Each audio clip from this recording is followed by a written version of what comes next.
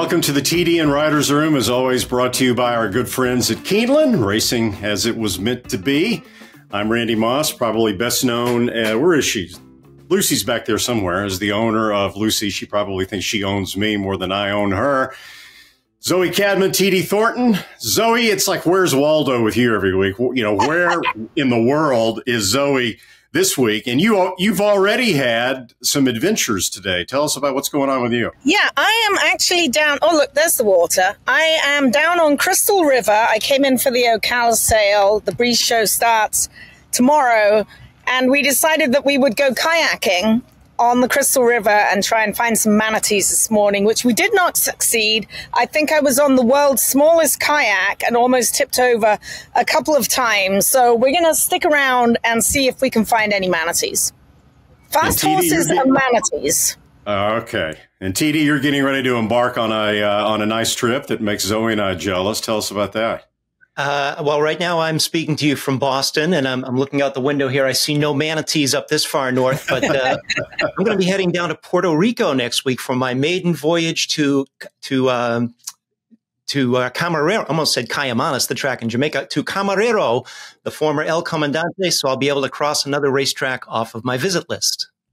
How about Very that? Cool. Well, I this past week I was in uh, well, I was actually in the studios in New York City where we were doing the Fountain of Youth and the San Felipe and the first uh, the first racing first week in March series. Started off, we were really, really excited about the Fountain of Youth because we had Locked and we had Speakeasy and of course Dornoch and Victory Avenue. And we were going to see Nysos in the middle of the week. We were excited about that in the San Felipe and we were going to see Just FYI make her first start in the Davona Dale as a three year old. Then one by one, horses began to drop out for various reasons. So when we did the Fountain of Youth, it winds up being Dornoch at odds of one to five. And you know, guys, he won. Um, he didn't blow people away visually or by the numbers or anything like that. So how do you guys judge Dornoch's uh, win in his first start as a three year old? We're going to have Danny Gargan on the show in a bit, and he'll he'll be able to explain a little bit more in detail about what happened. But the the complexion of the Fountain of Youth really changed. We had three earlier scratches from the race, and then as the horses were warming up on the track, Speakeasy, who was vying for favoritism in the race, he was uh, just a, a, a notch below Dornoch's favoritism in the betting. He got loose, unseated his jockey, ran into the rail, uh, suffered some cuts that needed some stitches. Obviously, he had to be scratched.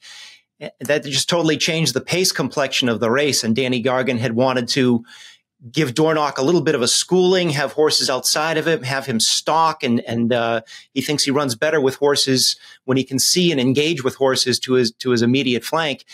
Uh, the whole pace per, per perspective had to change because that, and and he ended up sending Dornoch to the lead didn't have to run all that hard to win. Uh, and but uh, I guess the flip side of that is it didn't really take much out of him.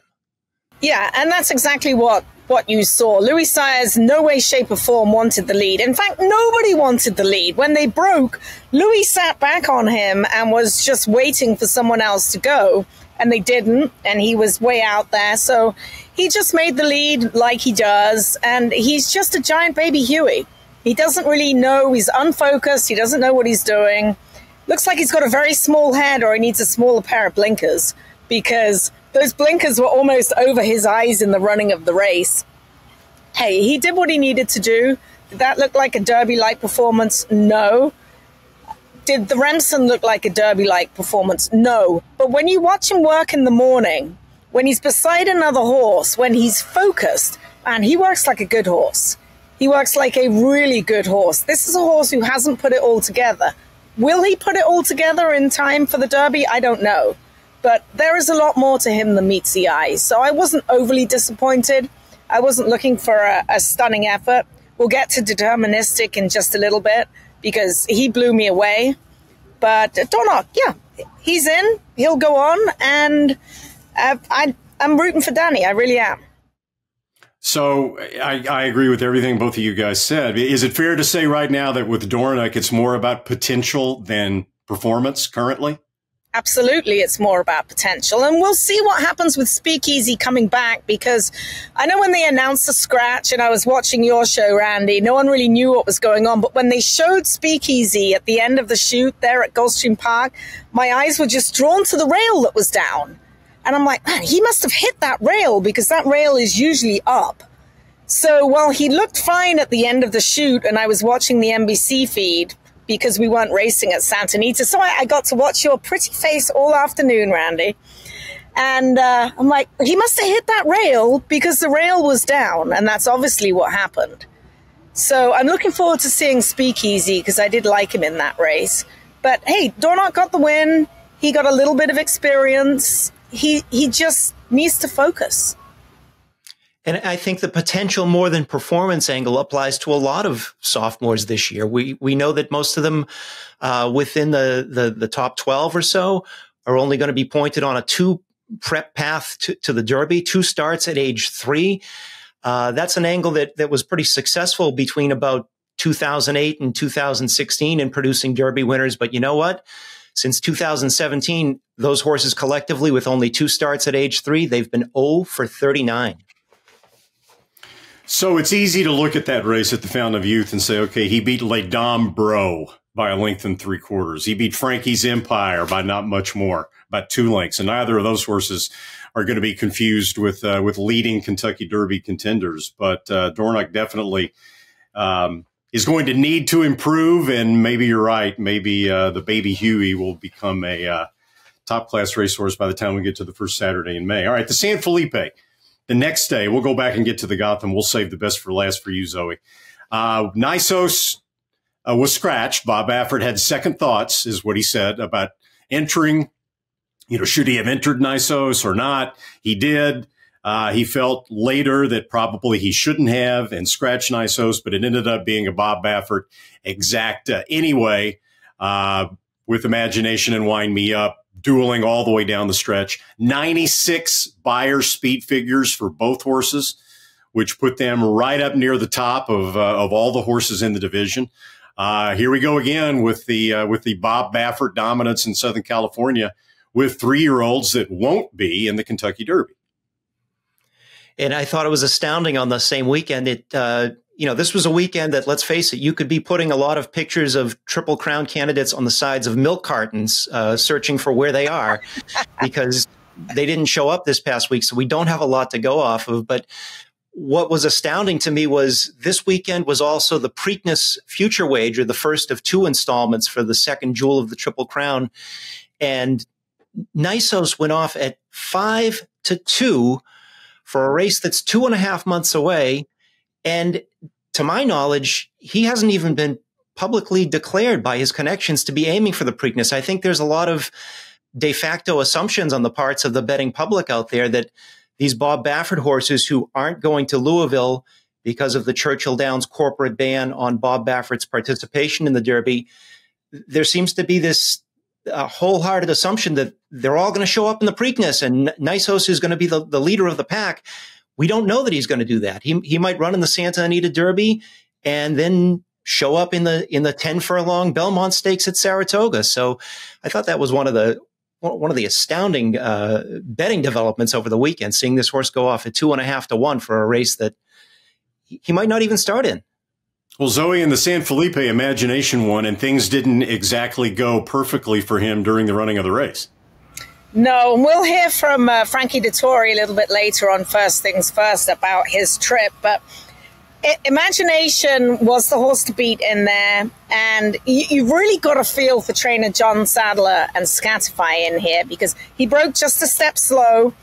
And there either was or wasn't room down on the inside. There was an inquiry that they looked at for an awfully long time at Santa Anita as to whether the fact if uh, JJ Hernandez came over on top of Scatify. I don't think there was room, and Scatify's a front running horse, a free running horse, and just ran off onto heels. So the heels he hit were imaginations, and imagination took off and went wide down the backside. So it was an ugly, for a four horse race, it was an ugly first turn. And Scatify took the worst of it, ran down the field in that race, and there was a big inquiry and thus he didn't garner any points. Bob's horses didn't garner any points, but John Sadler, who's looking to get his ownership group to the Derby, doesn't get any points because he was taken out in the first term. Bob gets the points, but he can't have the points. So you have to feel for some of the ownership in there. Imagination, a million dollar yearling, We've seen these connections time and time again. Get to the Derby, delighted for Frankie, who really had to ride hard to get by Captain One down on the inside aboard Wind Me Up in just the final final head bob, basically. Imagination gutted it out, but Wind Me Up ran a very, very good race indeed. He reminds me just a little bit of Medina Spirit in in the, the sort of determination that he yeah. shows. So so, in your opinions, should there be any concern about the scratch of Nysos? Um, there's always a concern when a horse is scratched. I mean, you know, Bob Bob says it was his gut feeling, and he's going to go somewhere else. Where he goes, I don't know. I know we weren't expecting to see him in the San Felipe, so it was a little bit of a surprise when he was put in there maybe he was put in there because Bob had two others in there and they wanted to make it a five horse field. I don't think so. I think Bob had all intention of running and then at the last minute was like, yeah, I, I don't think I'm going to. And that's typical Bob. He waits till the last minute on most things and goes with his gut. So maybe, yeah, I would be a little bit concerned. Anytime a horse is entered in a race and scratched, you have to be a little bit concerned. And, and I don't think we're through with the, the whole Derby points conundrum because, again, Bob's horses aren't allowed to, to earn points because of the corporate ban imposed by Churchill Downs. And what happens looking forward? Bob had mentioned that uh, Nysos he might just wait until the Santa Anita Derby. Okay, that's that's logical.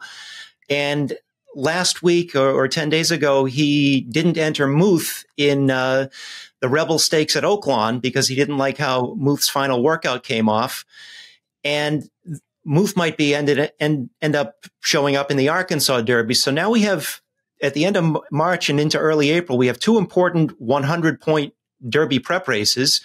And those horses are likely, if they show up in those spots, they're likely going to be favored. So we could see a point where uh, those horses earn slash don't earn the points, e- even though they've won the race.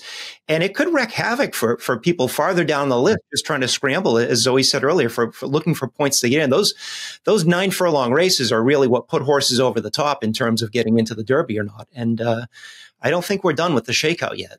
Uh, this is turning out to be an unfortunate year for Churchill Downs to continue its corporate ban of Baffert. Uh, given now we're talking Nysos, we're talking Imagination, we're talking Wind Me Up, we're talking um, Maymoon, who uh, Maymuth, who, who might wind up in the Arkansas Derby, as might Nysos. We'll see there. Then you got Muth, Cornell. I mean, you've got all these top three year olds out there that Baffert or, or perhaps budding three year olds like Cornell that that uh, that Baffert has. All right, the Gotham Stakes at Aqueduct also on Saturday, one turn mile.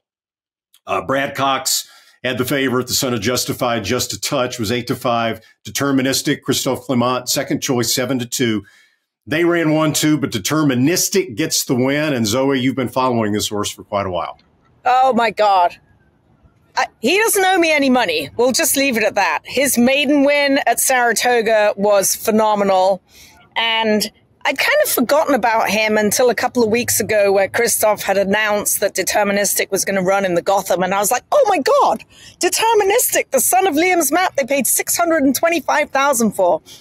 And I went back and looked at some of his works, and he, oh, he'd been working absolutely phenomenally and he ran like it. And he's a horse who is not pace dependent, even though he comes from off the pace. He can sit handy. He did it in the slop. He took all the dirt. He got a terrific ride under Joel Rosario.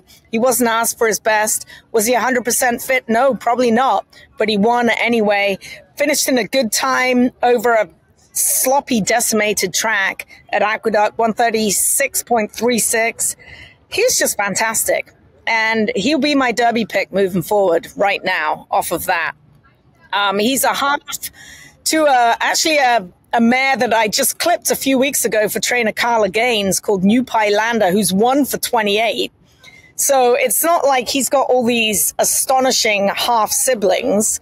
He's just a very good horse who was a beautiful looking yearling and that has just moved forward and he's a big, big horse, stands over a lot of ground.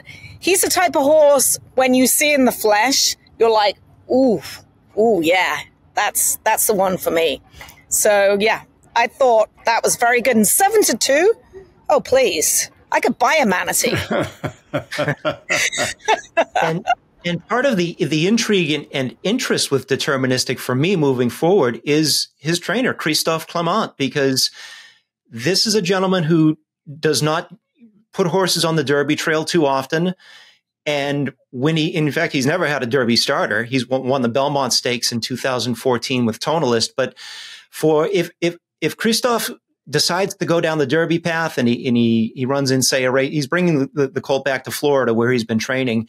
But if he shows up in the Florida Derby, the Wood Memorial, he's going to be a wise guy horse because bettors will be all over the fact that hey, Clement doesn't send these horses here just to take a shot, just to get into the entry box for, the, for, for a race like the Derby.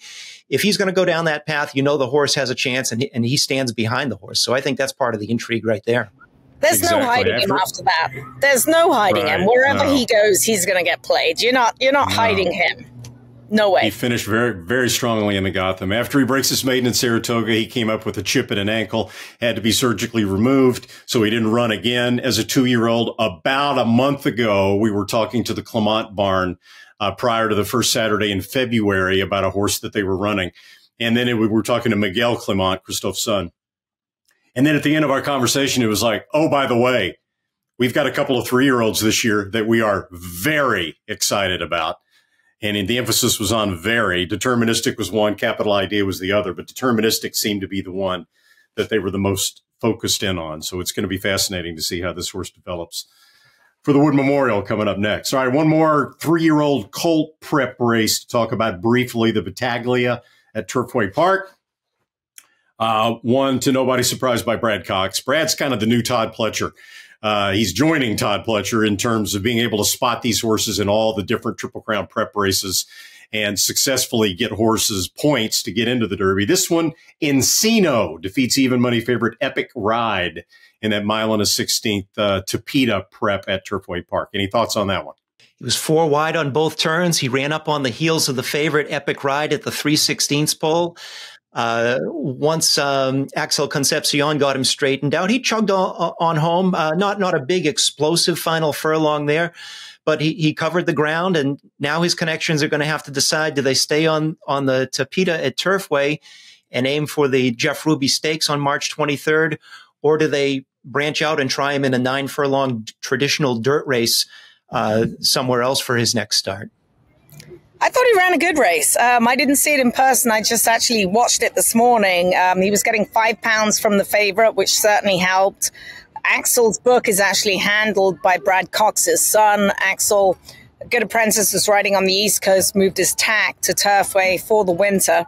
So I thought he ran well. Did I see a future Derby winner in there? No. Has it happened before? Yeah. Animal Kingdom prepped at Turfway Park. So you, you just never know. Um, I'm crossing everyone off my list after deterministic. I'm sorry. I'm I'm all in. I'm all and, in. Rich like Strike, Rich, yeah, Rich Strike prepped at Turfway Park as there well. After yeah, uh, yeah, before his big shocker. All right, the three-year-old fillies also prepped for the Oaks and the Davona Dale and the Busher. Uh, Fiona's Magic wins the Davona Dale at nine to one.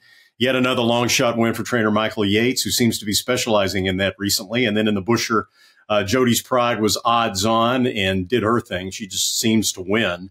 Uh, she won the Busher by daylight. Uh, any opinions on those two?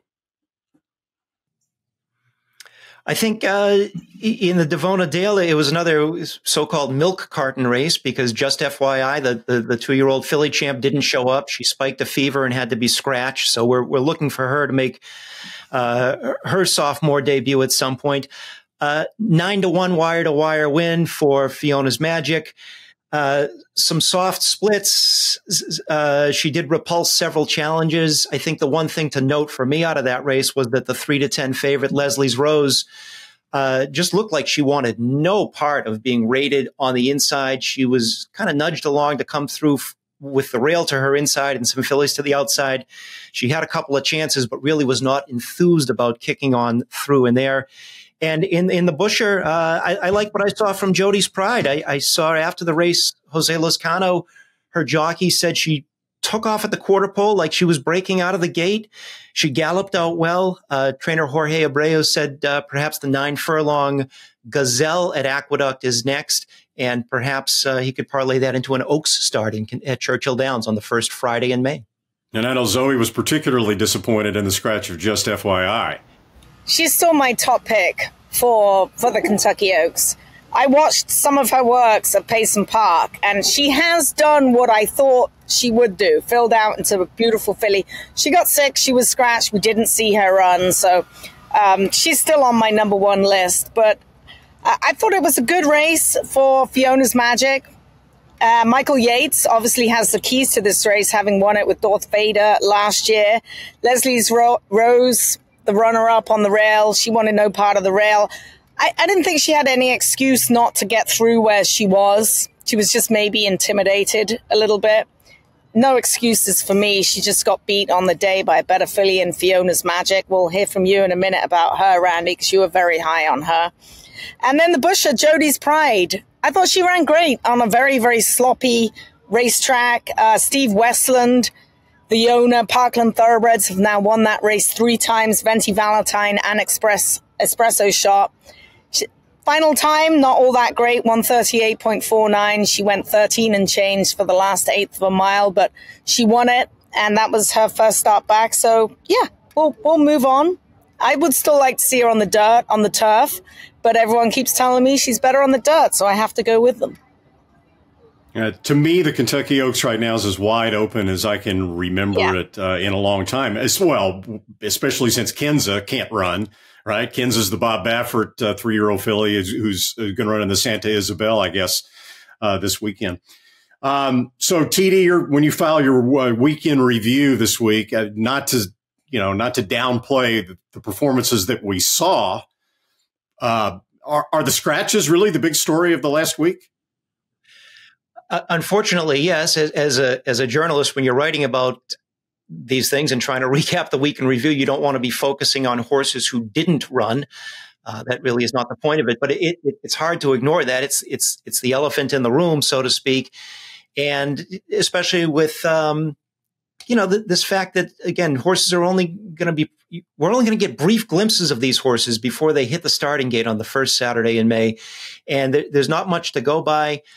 The trainers in trying to evaluate their own stock, sometimes it, it hurts them as, as, as well. But the question I'd throw back to you, Randy, with having to do with the Beyer speed figures is what do you make of the fact that there has been so little progression this year collectively among horses from age two to three who are aiming for the Derby. We've now seen uh, Sierra Leone, uh, we've seen Dornoch, we've seen Fierceness and Timberlake all run Beyer speed figures that have not progressed from age two to age three. In the case of the first three that I mentioned, they've actually regressed, and Timberlake has held his own, pairing up 93 numbers for three consecutive starts usually you like to see a little more oomph, no? You do. Oh, you totally want to see a little more oomph. I mean, you know, speed figures of uh, even 93 for Timberlake, but 90 and 89 and 88 are generally second tier contenders for the Kentucky Derby, even in the first the first part of March. I am expecting, though, I'm expecting one or more of these prep races to uh, to really give us that step forward that we hoped we would see in the penultimate preps. But that remains to be seen. And it's so wide open. I mean, which prep is it going to be? And of course, Nysos has run that fast, but again, you know, he's not in the mix. So, all right, while we're recapping races, we really should mention the day at Santa Anita and the big cap, as well as the Kilroe Mile.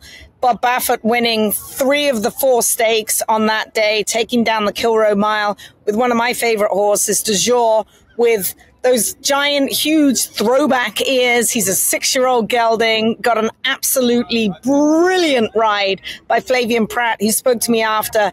And it's not often you really see Flavien smile after a race. You know what I mean? He loves horses. He's like, sorry, I just love this horse. He's so honest. He's such a cool horse. And he was grinning from ear to ear. So coming off a layoff, he last saw him in the Breeders' Cup turf running. He, he was beaten, what, three and a half lengths. So he won that one. Of course, he won the San Felipe and then the big cap with Frankie Dettori, who was here in the 80s, galloping for Chris Beckert, my old boss, who put him on his first winner out here.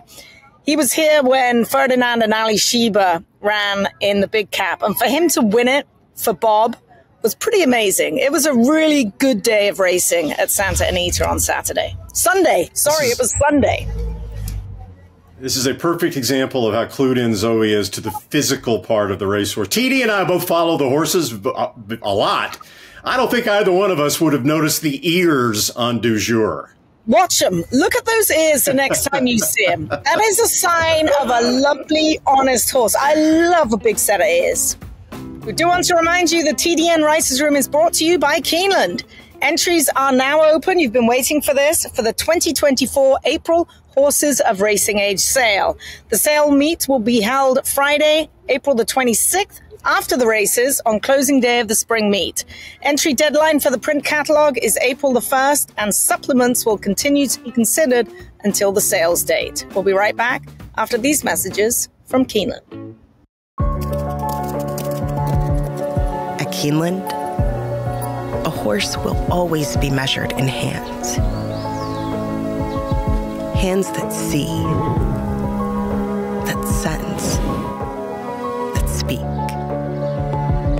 hands that hold our sport to a higher standard. Not for our sake, but for theirs. For the love of the horse, for generations to come.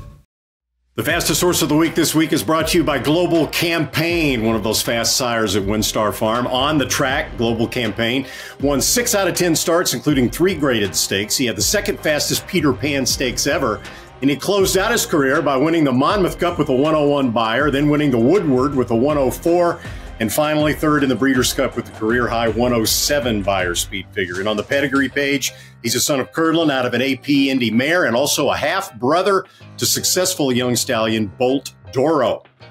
15 two year olds by Global Campaign are being offered at this week's OBS March sale. This is HIP 191, a beautiful colt selling with Eddie Woods.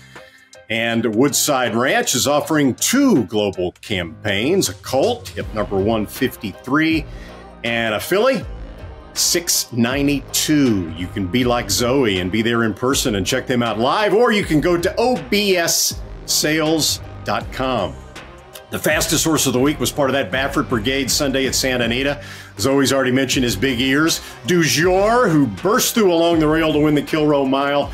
Bob Baffert's first grade one winner on turf in nearly 15 years. And this one has the added benefit of being co owned by Baffert's wife, Jill, along with Debbie Lanny. Du jour, a career high 103 Beyer speed figure to earn the designation as the fastest horse of the week. All right, let's get some more news nuggets out of the way here. Uh, first of all, the uh, the new Tapeta track at Santa Anita, Zoe, is now open for business. It certainly is, but not fully open because the track needs a little bit of time to settle. And we saw this down at, at Gulfstream Park as well. So right now they're just jogging on it. Um, no toe grabs are allowed because you don't need them on the Tapeta racetrack. So they're, they're going to jog on it for a couple of weeks and then they'll start galloping and then start working. But it's a welcome addition to Santa Anita.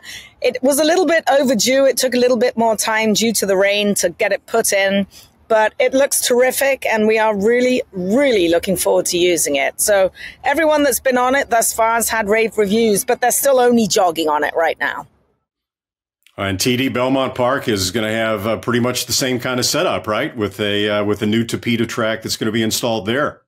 Yeah, and I understand that in the in the case of the one that just opened at Santa Anita, they've used a differently formulated wax uh, to handle the Southern California climate, which is different from where Tapeta is elsewhere in the country. Um, remember in the in the previous iteration of the the synthetic tracks when they were mandated at, at, the at the large California tracks, they were very inconsistent from the morning training till the afternoon.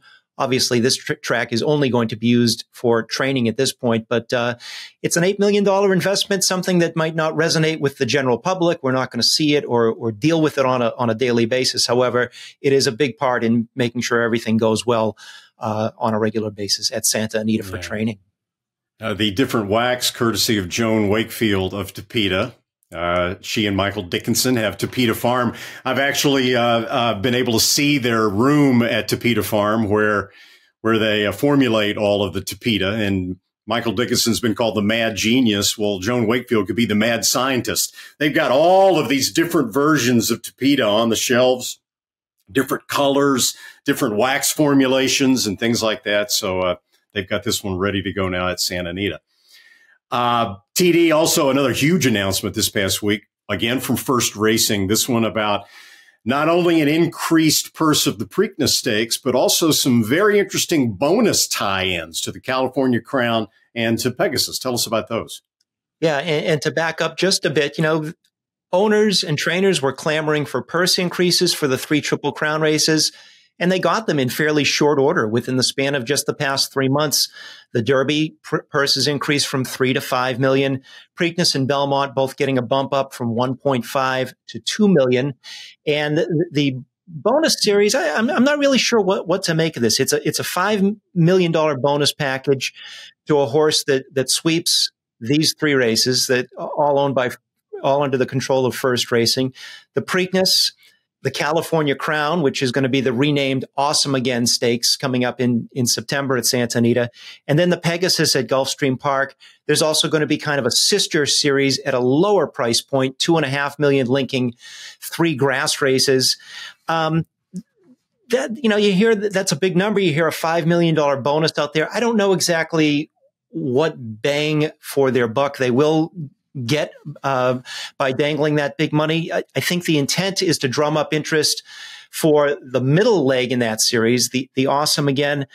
Um, but it, there's just going to be such a small pool of horses who are eligible to run for it that I don't know if, if it makes a big impact. I know last year, if, if you looked at 2023, uh, National Treasure would have been in for the for the running there. He uh, won the Preakness. He participated in the Awesome again. He ran fourth, and then of course he, he won the Pegasus down at Gulfstream. Uh, but that still would not have been good enough to get the five million dollar bonus if it was on the line then.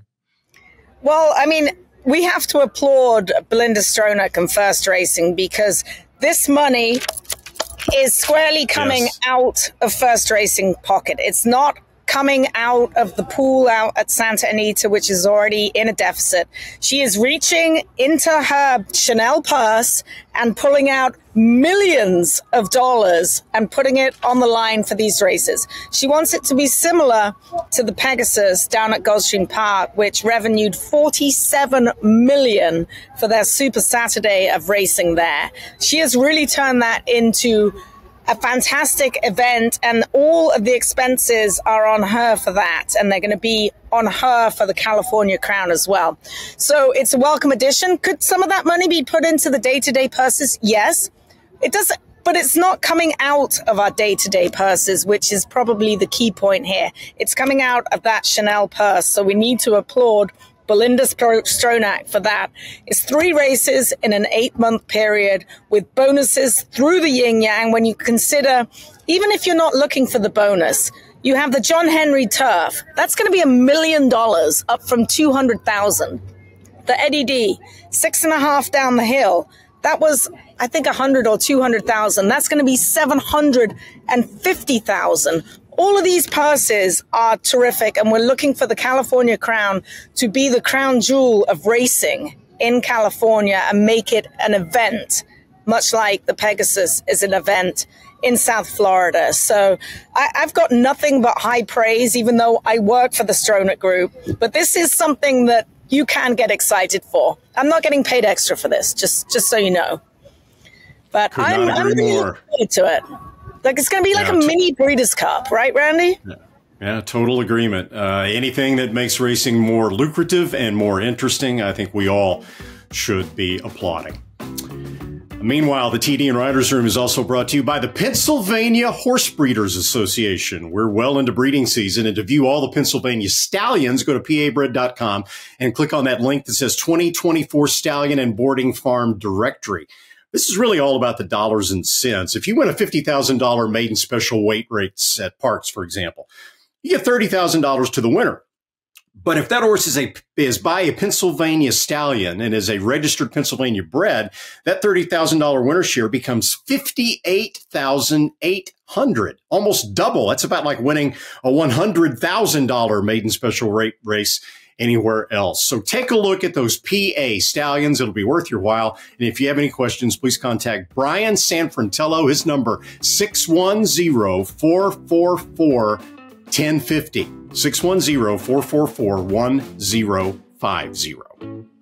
The state of Pennsylvania has the best breeders program in the entire United States. When you buy a yearling, it's a little bit like buying a lottery ticket. And we are trying to provide the lottery ticket that the likelihood is to hit the jackpot.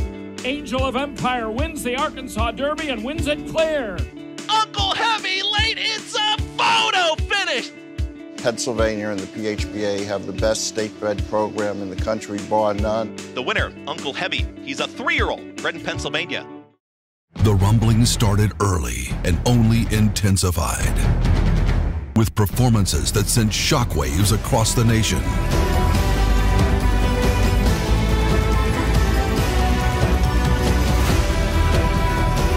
At the center of it all, Epicenter is at the top of the three year old class in the Run Happy Travers. Epicenter, three year old champion by Not This Time. Coolmore America, home of champions. This week's Coolmore Stallion of the Week is Epicenter. And Epicenter sells himself if we just show you some of his foals on the ground. This is a filly out of Seize the Market, bred by Blackridge Stables, the breeders of three-time Grade 1 winner Bast, and also Grade 2 winner Mutasabek. Here's a colt out of Secret No More, bred by Machmer Hall, who has brought us Tepin, Gina Romantica, search results, gift box, premium tap, all Grade 1 winners, and more. Next up, this is a filly out of Joyfully.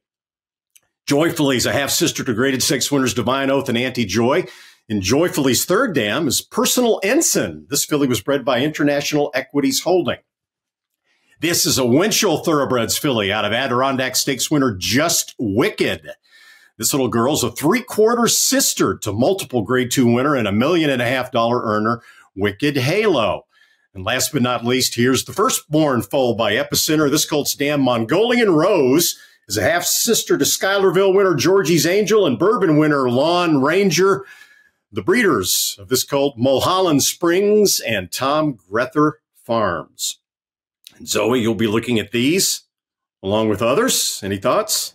And and honestly, the one thing that struck me about the epicenter foals is that they have a lot of length to them and a lot of leg. Now, anytime you look at a foal, you rarely see an ugly looking foal. I think I am the only person on earth that's ever bred an ugly foal, look like a kangaroo coming out. Um, so the breeding game is over for me. But almost any foal, the jury's out until you see them a little bit later on. But I will say the epicenter foals have a good bit of length and a lot of leg. So there is an awful lot to like about them. Just don't buy any foals that I've bred because they make really nice show horses about four years down the road. On that note, it's that time of the podcast again to remind you that the TDN Writers Room is brought to you by the Green Group, a tax accounting and advisory firm specializing in the thoroughbred industry and designed to save you taxes. Our Green Group guest of the week is trainer Danny Gargan, still basking in the glow of Dornoch's win in the Fountain of Youth on Sunday at Gulfstream in his first start as a three year old. So, Danny Dornoch he didn't break any watches in the Fountain of Youth. He didn't draw off and win by six links or eight links. To your credit, you said before the race that Dornoch was going to be maybe 85% for the Fountain of Youth. So how do you think his win in the Fountain of Youth should be viewed? Well, I mean, he's out there playing around by himself. He only he's going to wait on horses. We all know that. I wanted to rate him in the race and have somebody in front of him because when he gets out there, he plays around and waits on other competition to get around him. Uh, it's not his fault nobody was fast enough to get next to him. If they would have, he'd have ran faster. Danny, uh, one of the interesting things that I found in in trying to prepare for this interview was that when you went to the Derby in 2019 with Tax, uh, he was a horse that you went and claimed for fifty thousand dollars at Keeneland, and uh, you ended up 14th in the Derby that year, and, and Tax ended up running outrunning his peers in terms of longevity. He ran until early last year. But uh, your path with Dornoch was a little bit different. Your clients went to Keeneland at the yearling sale and purchased him for $325,000. And I'm kind of interested in knowing in at, at that point, nobody knew who his half brother Mage was. Mage was four months away from his first start and then another few months away from winning the Kentucky Derby. What was it like last winter for you, knowing that uh, you had a horse that would be cycling into your barn at some point as a two year old as you watched Mage progress into the Derby winner that we now know he is? I mean, it was exciting because uh, I actually owned a big part of him until Mage ran second in the Florida Derby. Uh, it was, you know, it's exciting to have a horse that's bred that well and, you know, just lucky. You know, I had Defunded's full sister, Ringy Dingy, who who's a stakes winner also. So, you know, anytime you're buying young horses, you kind of lean towards a little pedigree. But we'd seen Mages at uh, Maryland at the two year old training cell, and he was uh, a nice looking horse that uh, kind of liked him that day uh, when he breezed, and we knew he had talent also before we bought Mage or before we bought Dornoch, we knew Mage could breeze good and showed some talent. So it wasn't a complete unknown brother. Danny, before we go back, I want to talk about the race again. And first off, congratulations. But what, what was going through your mind with all the scratches that went on, especially the scratch in the post parade? Like, what were you thinking? Because you kind of run high. You have a high energy level. So, how was Danny Gargan during all of this time with everything that was going on? Well, I ran out on the track and told Luis to just go ahead and go to the lead because I told him to rate. And at that stage, I went down the steps. It's on video. It's kind of funny. Uh, went down the steps and told him just go ahead and go. Uh, when Todd's horse got loose and ran into the rail, which was unfortunate. You never want to see anything happen to a beautiful horse. And he cut himself up, but he went. I had to go down and just change our game plan completely because uh, I didn't want to get behind one of those horses and have them get in our way. So we just went ahead and decided to just go to the lead. Anxious moments in the running of the race? Uh, I was never really no. It was pretty. It was a pretty relaxed atmosphere at that stage. I mean, it took forever to get him in the gate. He handled himself real well. You know, they were out on the track probably 10 minutes, 15 minutes longer than they normally would have been. It was humid day. He never got hot, never broke out. Uh, no, it was pretty relaxed. I mean, it was really not a lot of pressure. So it was, wasn't that, you know, I never was worried at all. So I got a couple of questions here. First of all, I'm just I'm I'm I'm trying to wrap my head around this visual. So you're up on the steps and yeah. on the track apron. The starting gate is is just forward of the finish line, so it's right in front of uh-huh. you. And you see that Speakeasy is scratched. So you have to run down to the rail as the horses are walking to the gate. So you well, can shout down where they walk out right where the you know the where the stand is where they do the interviews and they're on TV. I run down to the track where the horses walk on the track and Luis right around that area and we had to have a conversation again. But he knew what we wanted at that stage. He's a pretty smart kid. Did he did he see you coming or and move the horse over to you? Did you have to shout yeah. at him? How to, how to... No, he came right over. And I said, "You know what this means?" He said, "Yes, go." I said, "Okay." All right, so so part part two of my question, you pointed out uh, after the race that not only did you think he was eighty five percent, you explained why that he had had just four breezes leading in to the Fountain of Youth. Now, we all know there are all kinds of different ways to train racehorses. It's not a science, it's an art. Why did you choose? Um, why did you choose to bring Dornoch into the Fountain of Youth with that kind of schedule? Well, you know, I've been in a situation where I've won the Remsen before, and I felt like, yeah, it's going to be a long year. We wanted to give him time off. We gave him some time off. Some weather hit, this hit, and I didn't want to overtrain him into the race. And, you know, it's going to be a big year. We have all year to get him fit. We didn't expect, you know, he's, you know, people think you have to win every race, and uh, everybody gets that in their head. We were just hoping to get a good start in him and maybe win next time or run second and be in the Derby. Danny, um, we hear in the media have a tendency to want to know the second after a horse crosses the finish line what his next prep race is going to be if he's on the Derby trail. And of course, any rational trainer wants a little time to evaluate and and think about what's going on. But now that we've given you a, a good 72 hours as we're taping this, we've heard Florida Derby mentioned, uh, Bluegrass Stakes. What's your preference? You leaning in, in any direction at this point?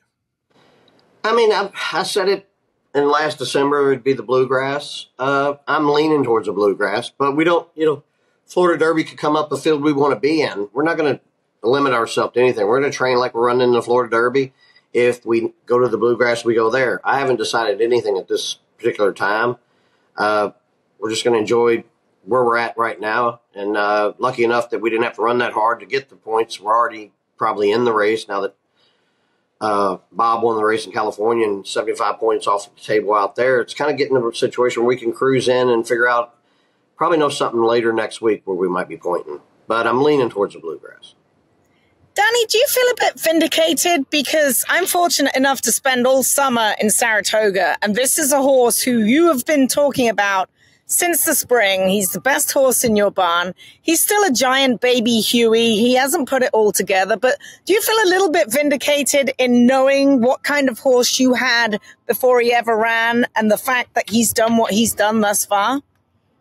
Well, yeah, I kind of put my foot in my mouth up there. Uh, in the summer, Dave Brennan did an article, and I said he's the best horse I ever trained. And, you know, no one's arguing with that anymore. Um, he's, it's, when you have a horse that has a stride like this, and he's such a beautiful animal, it's pretty easy to see how talented he is. Watching him breeze with the other horses, it's it's fun. I mean, he was out working WNL like so easy. It was, it's. I mean, it was an exciting summer just having him there, and it's been exciting to have him all year.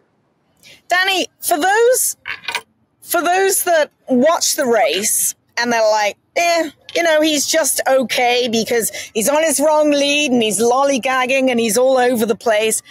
And then to watch him work next to another horse, he's two different horses. How can you explain that? We just got to get someone fast enough to get next to him. I mean, it's simple. I mean, if someone, he only has to, he only, if someone will get next to him, you're going to see a fast horse. I mean, he does explode working, but, you know, Luis was just sitting there playing around. He'll wait on competition because he, you know, he wants to play with. He's a big boy and wants competition, wants to play on them. But you know, the big key the other day, and I told Luis, don't worry about leads, don't do anything. Do not be yanking him around because I don't want to get DQ'd or hit the rail. When a, when horse is up his inside, Luis took a minute to do anything because he doesn't want him to run into the other horse next to him because he's you know, if you get to play him, he'll he'll jump on him next to in his competition. He'll lean into him and might bounce off of him or anything. We just want to run straight right now. And if it's an 88 Beyer, or, you know, people, I don't really take any interest in Beyers. You know, we call them the rolling Beyer in horse race and they change every other day. So, uh, they're not anything that anybody pays any attention to. So, uh, who's out there any faster? Sierra Leone got an eight, a 90, and I think he's probably the horse to beat. So, other than that, I'm not really too concerned about any numbers. It's just keeping him running straight and keeping him healthy is going to be the thing. Well, since I'm one of the guys that does the Beyer speed figures, I'd have to take a little know, bit of an exception to that, but that's okay. Um, we've changed Dornox so, Maiden when you did it three different times, so you're used to being right. teased. So, my question uh, we talked to you, Jerry Bailey and I, a couple days before the race, and you just mentioned the stride on Dornoch. And you told us an interesting story about how that was really the first thing that you noticed that told you that he was a good horse. Kind of share that, share that with everybody if you don't mind. Oh, we you're at Saratoga, and you know, you're wearing you know, workouts, and we liked him. He's a big, pretty horse, and uh, he worked out the gate, and uh, I've got the binoculars on him, and whew, did he work good? And he worked with the filly Ringy Dingy, and she broke lightning fast. He's about two jumps behind her, and he made up that two jumps. I mean, instantly, and they worked forty six and one, and I was like, oh my goodness, he does have a turn of foot that's crazy, and. Uh, that day I knew that we had something. Danny, I'm just curious to know you've been to the Derby once with Tax. He was uh, not a favorite for the race. Um, but you obviously, it's the Derby is one of those things as a, as a trainer, you don't learn it until you actually go through it. Even if, like you, you grew up in Louisville and you've been around the racetrack all your life. What did you learn from going through the Derby with Tax that you might be able to apply to, to Dornoch's journey this year, especially considering they're, they're different horses in that Tax was not one of the favorites and, and Dornoch figures to be one? Well, it was, it's a totally different situation. I'm kind of leaning back to the days when I worked for Nick Zito now. I mean, this is a, I mean, he's a contender. He's a live, live horse in the race. Tax was just a fun thing to go because I'm, you know, people want to run in the Derby. Uh, we were just happy we were there. Uh, it's a totally different situation with this horse. You have to look back and see the things when you worked as an assistant, when you actually had a chance to win it. And I've done a lot of the things I've done with this horse that Nick did with Louis Quatorze and Go for Gin. You know, I gave him the time off, tack walked him in the barn. I've done pretty much the same things. Was going to give him his first race uh, to set him up for his next race. So we've done things that I learned in the past, but it had tax was a totally different thing. He was a horse that we were just trying to get there. I believe we have a horse that can actually, if we get him in the gate on the first Saturday in May, he's had a chance to win it. So it's a totally different ballpark, and it's a fun thing to be a part of, and hopefully we get lucky and we're there. And Danny, that's a perfect segue to my next question. You've been around an awful long time. We've been friends a long time. You've always older than you all think. Danny, now we have a pact, just remember. So, for people that don't know Danny Gargan, which is hard to believe at, at this point in your life, give us a, a brief outline of what you've done in your life because you've pretty much done everything. You've been a groom, a hot walker, an assistant, a jocks agent. Take us through your life story up to now, real quick. Well, my father was a jockey, and he passed away when I was a kid. And I grew up right outside Churchill Downs on First Street. And there's a couple of trainers that grew up in that same neighborhood. Brad Cox grew. I was on First and Evelyn. He was over on Fourth and Evelyn. So uh, we all grew up, you know, just going to the races. You know, in the summer, everybody got a job because no one had any money. So we all worked, and I was lucky enough. A few few trainers took a shine to me. Uh, Merrill shares like a father figure to me most of my life, and uh, worked for Lukas as a kid a lot, and then I, you know, just transitioned into every phase. And I didn't expect to be a trainer. Uh, when I quit being an assistant, I went to be a jocks agent, and I had a lot of fun doing that, and we made a lot of money, and and uh, just ended up buying some horses, tinkering around, and flipping them, and had three or four horses, and stayed up in New York, and it snowballed at one time. I had 50, 60 horses, and uh, here we are today. I don't train as many anymore. We keep it under 50 all the time, but uh, it's still fun to have, you know, a stable of 40 horses and, you know, get 15, 16 year olds, and hopefully we get lucky and uh, can keep being on the Derby Trail and keep doing interviews. exactly. and, and, one of the things that you notice with your interviews, I know, is that this time of year, people not only analyze these three year olds a lot, they overanalyze them really. And people in the media are addicted to rankings. Give us your top 10. Give us your top eight Derby horses in order. I'm not, so, like I said, I think Sierra Leone deserves to be the favorite. Uh, Timberlake, I'd say him and Timberlake deserve to be the favorite. I'm good with being third or fourth choice. Uh, I'm okay with uh, being fifth. I'm not going to rank everybody. They're, you know, those trainers have done more than me. They're more successful and have more horses and you never know who's going to end up where. But uh, we're just happy to be a part of it, you know, and be in the mix where we are in that kind of situation. You know, like I said, we only get like 14 or 15 two year olds. I think I had four, four or five colts that were not New York breds. To have one of this caliber out of a small package like that, it's hard to do. People don't understand that aspect of the game. You know, these other guys have 150 two year olds and uh, they have 35, 40 colts. So uh, we're just blessed that we got lucky and one of them fell through the cracks of all these big buyers. So I'm curious. Okay, so Sierra Leone won his first prep of the year in the Risen Star. Dornoch won his first prep of the year in the Fountain of Youth. You ran against Sierra Leone and beat him in the Remsen. Why would you put Sierra Leone over Dornoch at this point? Well, I think the public will, and it's okay with that. Ah. I don't want to be picked first. It's a little bad luck. uh, I'm happy with where we are, and I think we'll progress further. We'll, if both of us run in the bluegrass, at some stage he's got to pass me. So uh, I'll be in front of him. So he's got to come get me. And you know, you get 12 horses in a in the gate. Sometimes it's hard to catch the guys in front when you got to go 12 wide because you're not going to come up the rail at Keeneland. It's going to be too jammed up. So uh, it'll be fun to watch these races. And Brooke Smith is a really good friend of mine that I've known for years, and I couldn't be happier for him. He's a great guy. Such a, I mean, it's it's going to be a fun derby. There's going to be a bunch of guys from Louisville that are in the race, which is going to be fun. You know, Brad's got Timberlake, Brooke Smith has Sierra Leone, um, and my horse. So it's going to be a Louisville Derby this year, hopefully.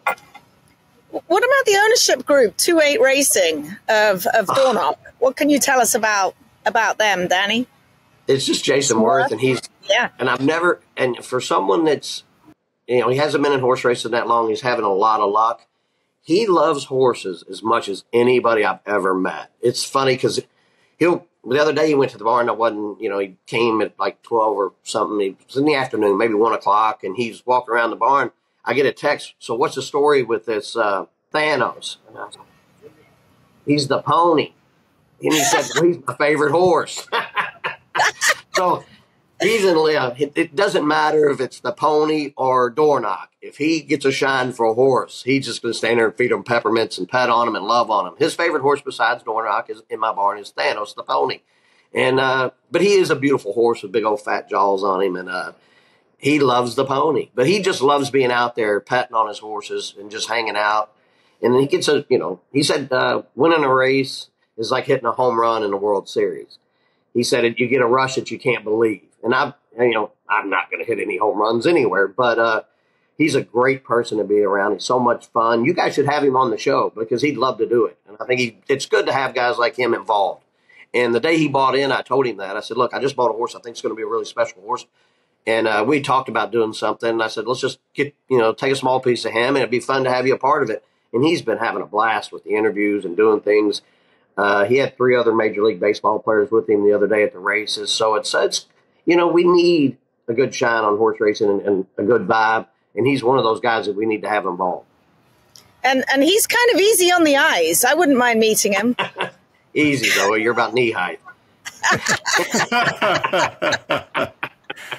you got to watch Anything else?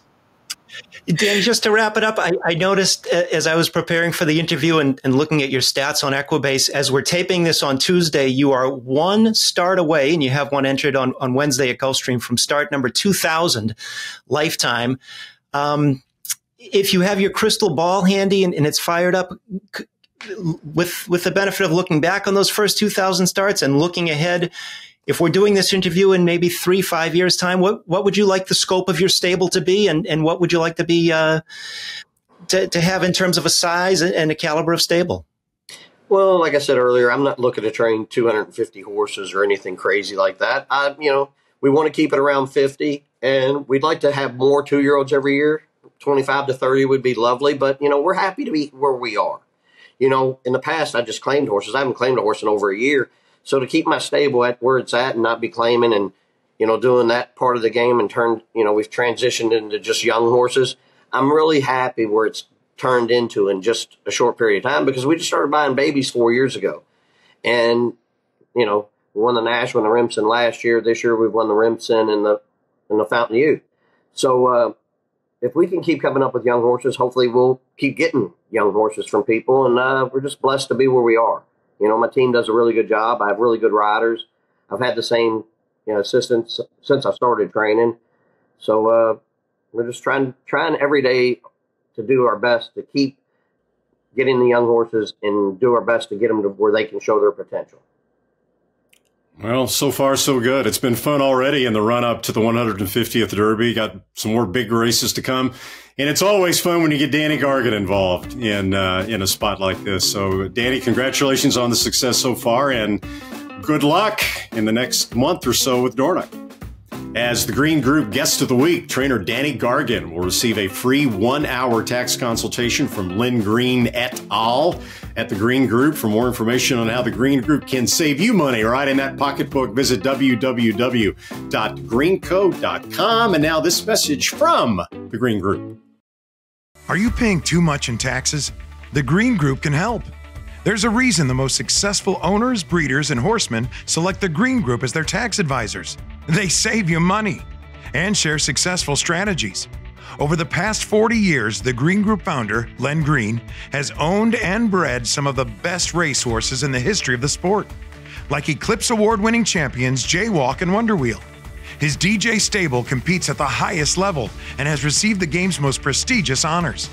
Len Green's in depth, hands on industry knowledge, combined with cutting edge tax saving strategies, has produced positive results for his clientele and has made the Green Group the top rated accounting and tax firm in the thoroughbred business.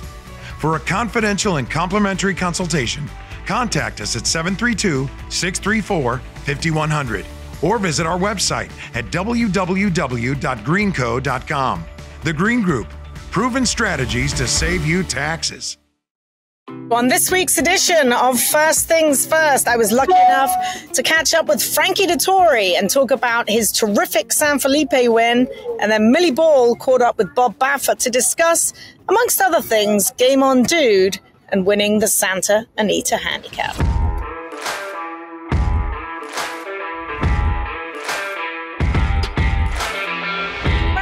Hi. You had to blow a little bit there. Hi. It was a bit of a different race.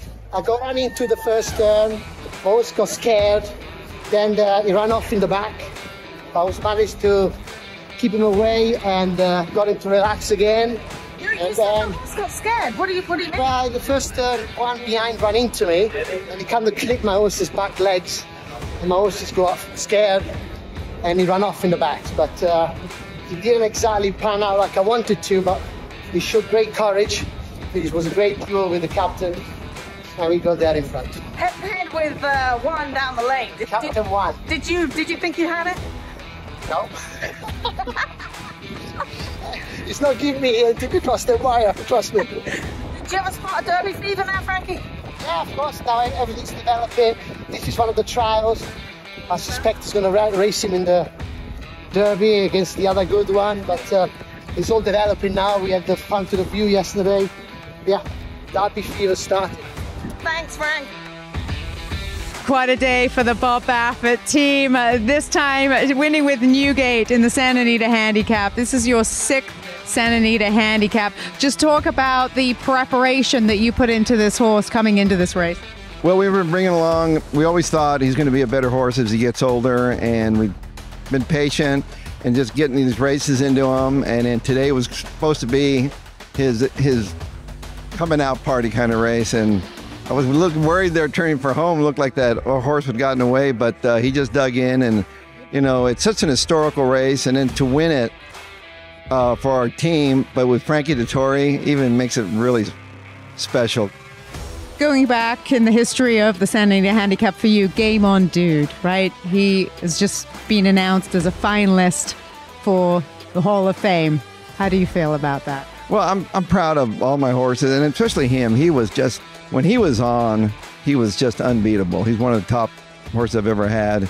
And unfortunately, you know, he had his best race was probably the Breeders' Cup in Kentucky when it was so deep and muddy, and he almost held on. Some long shot got him, but it's it's one of those things where, I you know I, I hope he gets in. You know, it's it's it's you know have Justify in there too, another unbelievable horse, crazy horse. I don't know if I have another one like him, but but it just really it, it makes you proud.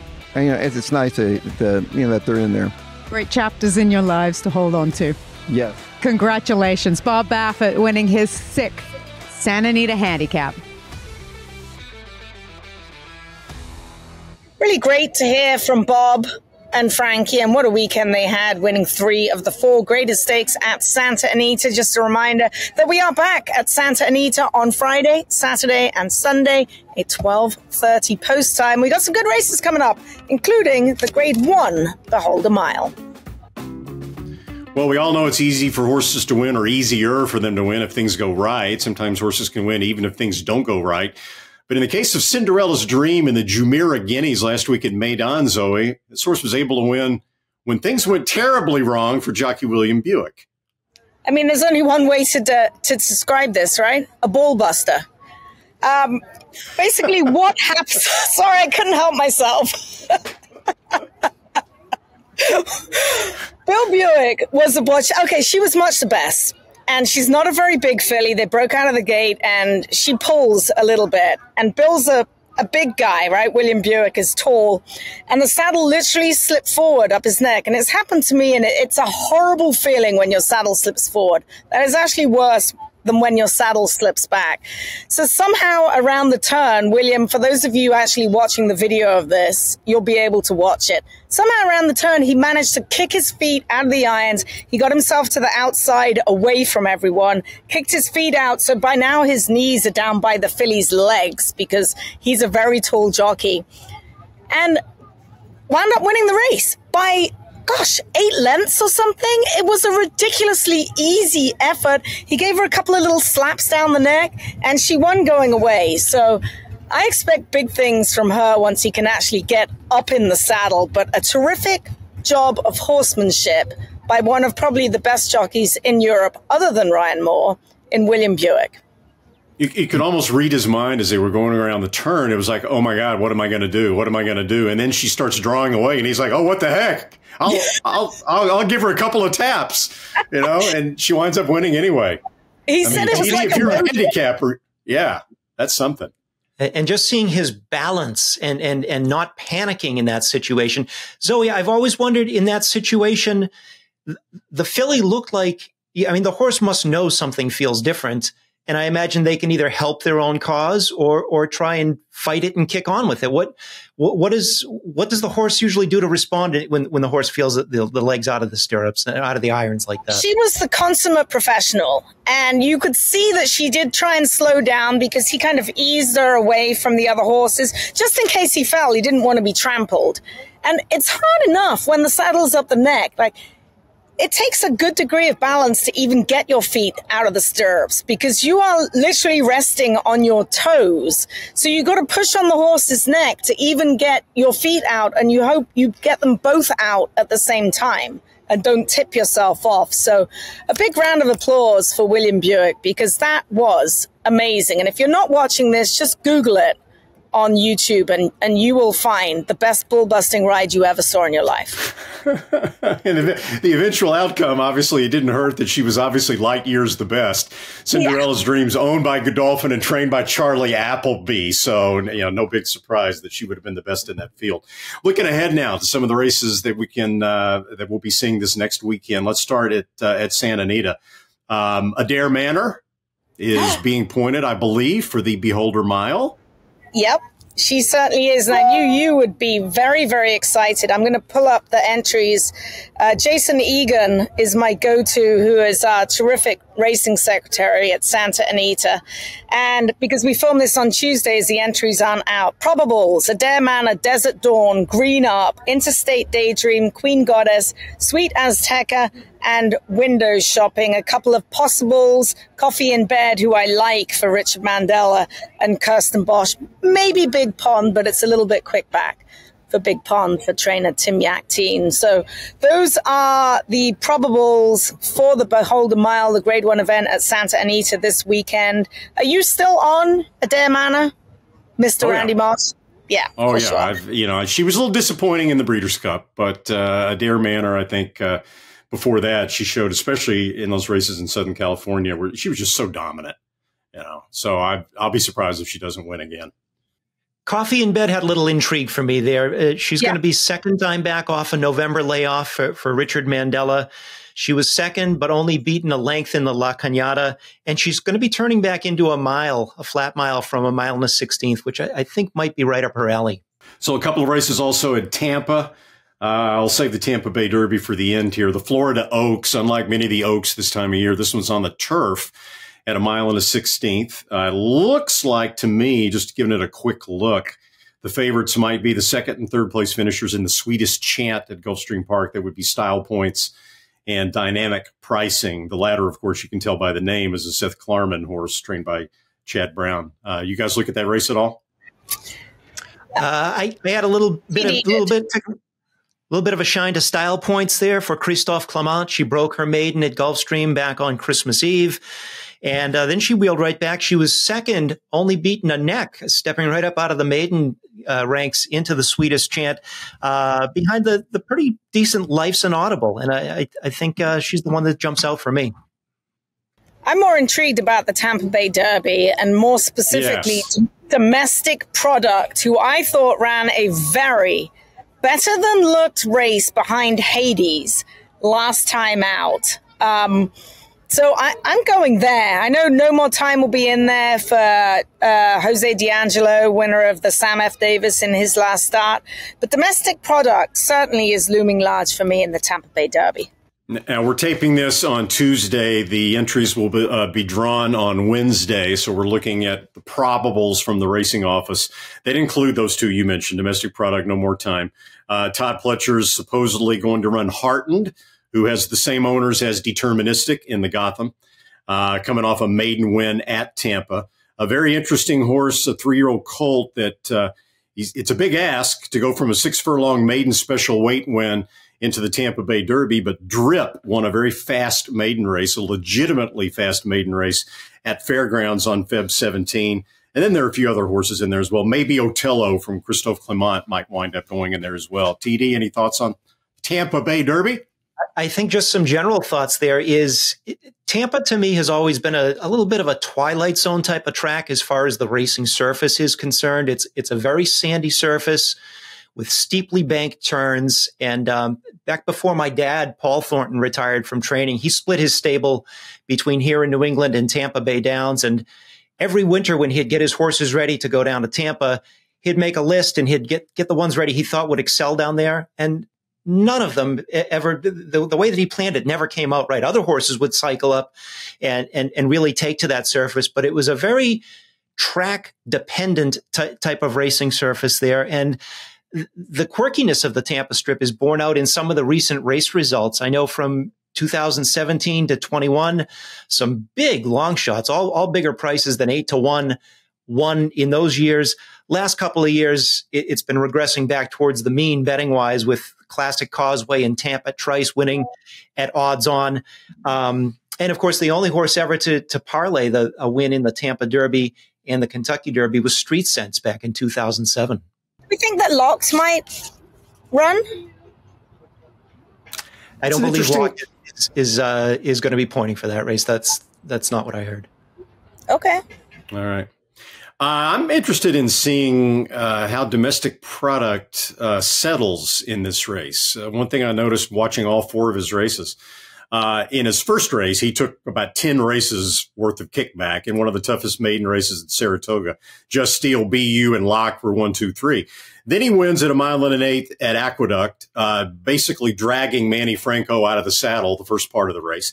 He comes back in the Remsen. He's very keen behind horses in the Remsen and and backed up as a result. And then even in his second in the Holy Bull, they were going 50 and 114 on the pace in front of him. So it's going to make a lot of horses a little bit keen. But he again did not settle very well behind horses. So maybe he's a work in progress, Zoe. Uh, remind me, did they take the blinkers off him in his last start? Yes. I'm not looking at yes. the PP. Yeah, and so I think he's gonna he's gonna be better this time. Work in okay. progress. It, it might have been the pace that had him so keen sitting behind horses yeah. last time out. But, uh, they're probably uh, not going to go fast Tampa either. All right. So, what about the XBTV work of the week? Oh, let's get to it. Here we go. I actually have Leslie right here sitting next to me, and she is our key editor at XBTV. So she should probably be reading this but I'll, I'll, go right ahead. The TDN Writers Room is brought to you by XBTV and Leslie Abbott, our fine camera woman as well as editor. The work of the week is Hades. Hades breezed a half mile at Gulfstream Park Sunday morning in 48.64 for trainer Joe Orsino. Hades was the winner of the Holy Bull Stakes in his last start and is pointing to the Florida Derby on March the 30th, where again he will meet up with Fierceness, who was third after getting bumped in the start in their last meeting at Holy Bull.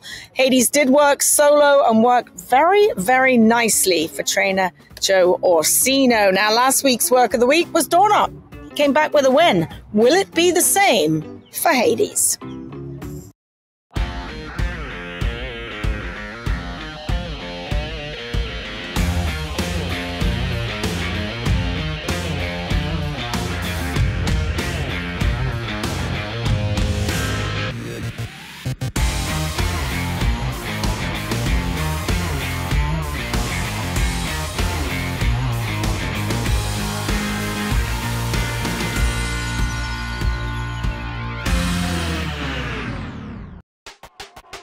All the thrills. fraction of the bills. Experience the power of the partnership. Change your life, make new friends, and compete at the highest level of thoroughbred racing. West Point Thoroughbreds, the gold standard in racing partnerships. Visit westpointtb.com.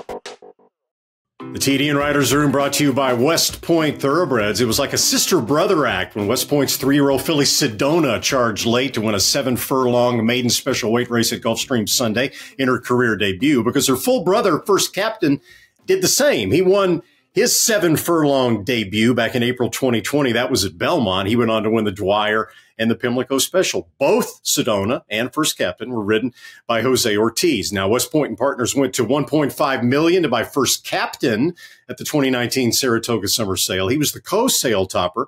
And what do they spend on Sedona? Two million. Three years later, at the same Saratoga Summer Sale, Sedona topped that sale. Both First Captain and Sedona, bred by Bobby Flay out of his mare America, uh, one of the flagship mares of, of, of Flay's breeding operation. If you're interested in joining a West Point partnership and being vaulted into the world of instant camaraderie, you can learn more Woo! by visiting West Point. We were being vaulted. WestPointTB.com. All right, and that's it for this uh, first week of March TDN Writers Room podcast. Thanks for joining us. For Zoe Cadman, TD Thornton, I'm Randy Moss. We will see you one week from today. Cheers, guys. Take care.